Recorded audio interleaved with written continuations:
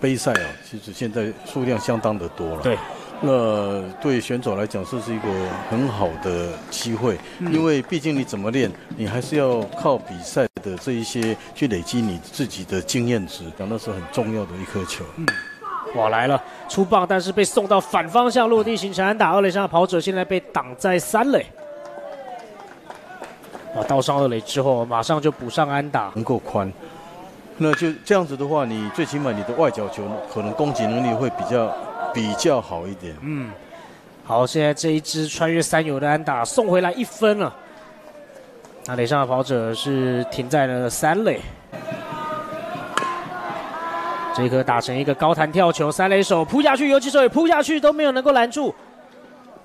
那这样三垒上的这一分又要被送回来，哇！这是仁和在第一局现在连续的四支安打，嗯，打回了第二分。